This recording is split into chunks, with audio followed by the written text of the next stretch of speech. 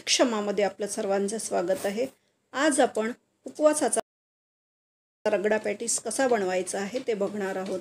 पण त्याआधी तुम्ही जर माझ्या चॅनलला नवीन असाल पहिल्यांदाच बघत असाल तर सबस्क्राईब करायला विसरू नका आणि बाजूला असलेली बेलसुद्धा दाबायला विसरू नका.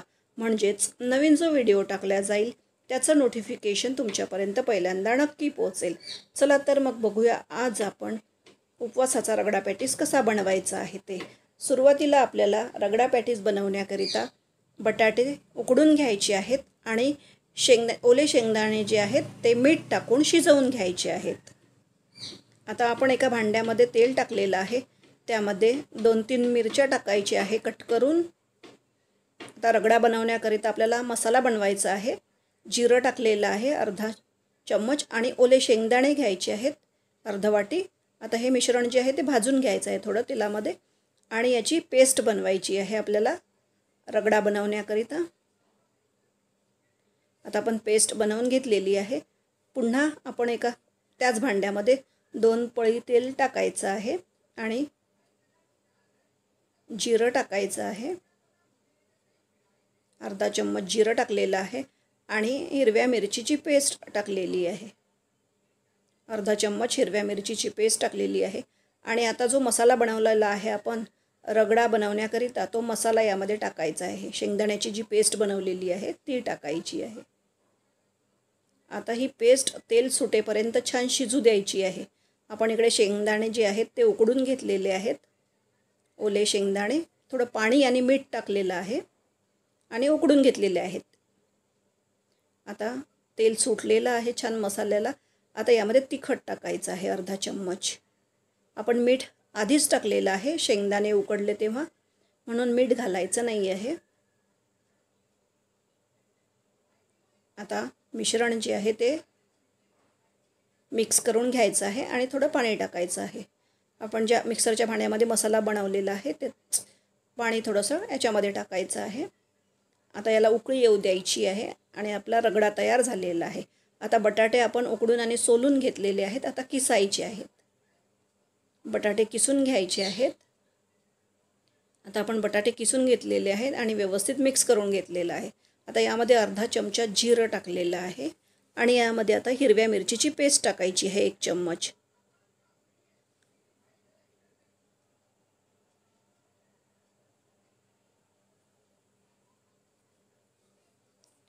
मीठ टाकायचं आहे चवीनुसार.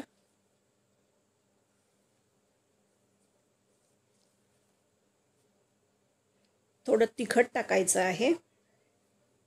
आणि आता हे मिश्रण व्यवस्थित मिक्स करून घ्यायचं आहे. आता आपण एक दोश्याचा तवा ठेवलेला आहे आणि त्यावर तेल लावलेलं आहे. आपल्याला थोडी भगर जी आहे ती मिक्सरमधून बारीक करून घ्यायची आहे.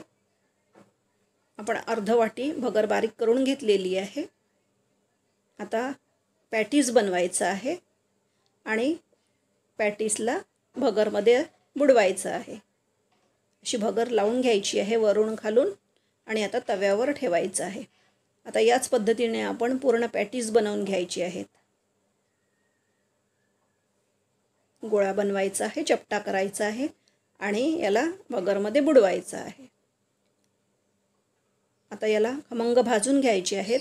छान कुरकुरीत होईल असे भाजून घ्यायचे आहे दोन्ही बाजूने आणि आपल्याला गॅस कमीच ठेवायचा आहे. मोठा गॅस करायचा नाही आहे.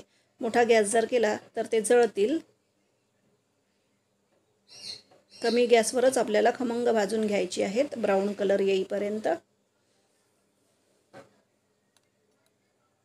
आणि टाकल्यानंतर थोडा वेळ शिजू द्यायचा आहे आणि नंतरच पलटवायचं आहे.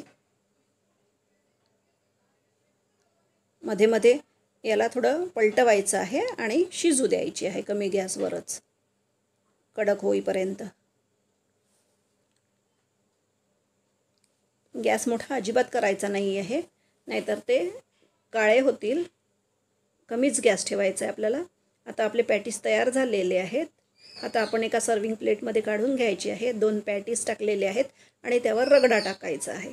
आपण आपल्या आवडीनुसार प्लेट सजवायची आहे.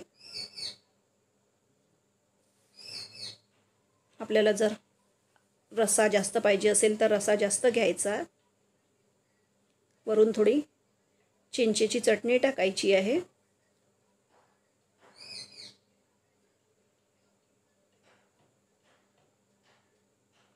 आणि थोडे उपवासाचे शेव टाकायचे आहेत.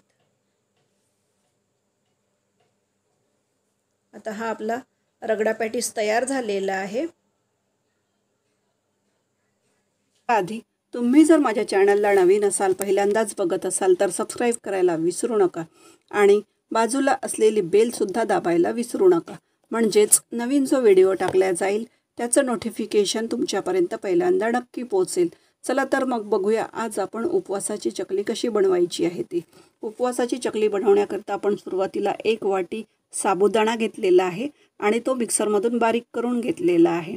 एक वाटी भगर घ्यायची आहे त्याच वाटीने आणि बारीक करून घ्यायची आहे. आता बारीक केलेल्या भगरेमध्येच आपल्याला राजगिरा मिक्स करून घ्यायचा आहे. आपण अर्ध वाटी राजगिरा घेतलेला आहे. आता तीनही मिश्रण आपण बारीक करून घेतलेलं आहे. आणि आता यामध्ये मीठ टाकायचं आहे. चवीनुसार मीठ टाकायचं आहे. एक चम्मच तिखट टाकलेलं आहे आणि तीन चम्मच आपण तीळ टाकलेले आहेत. तीळ जास्त टाकलेले आहेत. चकलीमध्ये छान वाटतात म्हणून. आणि आता आपण बाजूला गॅसवर पाणी ठेवलेलं आहे. एका गॅसवर पाणी गरम ठेवायचं आहे आणि गरम झालं की ते उकळी येऊ द्यायचं आहे आणि उकळी आल्यानंतर गॅस बंद करायचा आहे. आणि आता या मिश्रणामध्ये आपल्याला थोडं थोडं पाणी टाकायचं आहे आणि मिश्रण व्यवस्थित मिक्स करून घ्यायचं आहे. गरम पाण्याने भिजवायचं आहे. आपण आता थोडं थोडं पाणी टाकून मिश्रण व्यवस्थित मिक्स करून घेतल्यानंतर याला झाकून ठेवायचं आहे अर्धा तास. अर्धा तास झाकून ठेवल्यानंतर अर्धा तासाने याला मिक्सरमधून बारीक करायचं आहे. कारण आपण जेव्हा साबुदाणा आणि भगर बारीक केली तेव्हा ती थोडी जाडसर होती. म्हणून आपण आता अर्ध्या तासानंतर ती मुरलेली आहे. आणि म्हणून आपण हिला आता मिक्सरमधून काढून घेतलेली आहे आणि आता याचा छान गोळा मळायचा आहे आणि चकलीसाठी तयार करायचा आहे. आता गोळा जो आहे तो चकलीसाठी तयार झालेला आहे. आपण साच्याला थोडं तेल लावून घेतलेलं आहे आणि कढईमध्ये तेल तापायला ठेवलेलं आहे.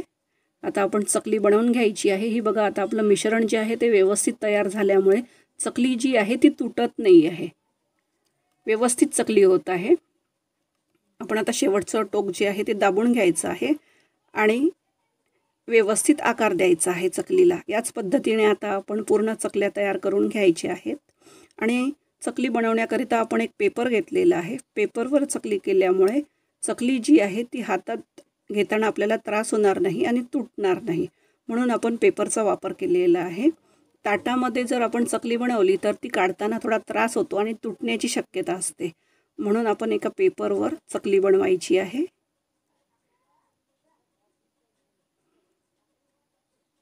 आता आपण याच पद्धतीने बाकीच्याही चकल्या बनवून घ्यायच्या आहेत. आता या तळायच्यातही बघा आता आपल्याला किती सहज हातात आलेली आहे चकली. म्हणून आपल्याला पेपरवर चकली टाकायची आहे. ती सहज हातावर येते आणि तुटत पण नाही. आता आपण पूर्ण चकल्या ज्या आहेत त्या तेलामध्ये टाकून द्यायच्या आहेत तळायला आणि टाकल्यानंतर आपल्याला लगेचच पलटवायच्या नाही आहेत. थोडा वेळ शिजू द्यायचं आहे. थोड्या वेळ एका बाजूला शिजू द्यायचे आहेत आणि थोड्या वेळ शिजल्यानंतर त्या थोड्या कडक येतात आणि नंतर आपल्याला पलटवायच्या आहेत. एका बाजूने शिजल्यानंतर त्या कडक येतात आणि नंतरच आपल्याला पलटवायचे आहेत तोपर्यंत पलटवायच्या नाही आहेत. आणि गॅस आपल्याला मीडियम ठेवायचा आहे मोठा गॅस ठेवायचा नाही आहे. मोठा जर गॅस ठेवला तर त्या लगेचच तळून निघतील आणि थोड्या लालसर होतील.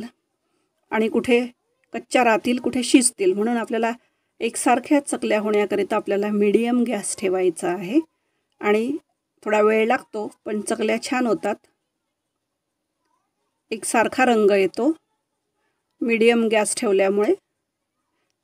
आता आपल्या चकल्या ज्या आहेत त्या दोन्ही बाजूने झालेल्या आहेत. आता थोड्या वेळ आपल्याला पुन्हा शिजू द्यायचे आहेत. याला कलर यायचा आहे. एकसारखा रंग यायचा आहे आणि थोड्या एक दोन मिनटं पुन्हा आपल्याला शिजू द्यायचे आहेत. आता झालेले आहेत. बघा रंग बदललेला आहे आणि एकसारखा रंग आलेला आहे. आता या चकल्या काढून घ्यायच्या आहेत. आता मी या चकल्या ज्या आहेत त्या एका चाळणीवर काढून घेतलेल्या आहेत. आता आपण पूर्ण चकल्या बनवून घेतलेल्या आहेत. आता या आपल्या चकल्या तयार झालेल्या आहेत उपवासाकरिता. तुम्हाला जर माझी ही रेसिपी आवडली असेल तर लाईक शेअर कमेंट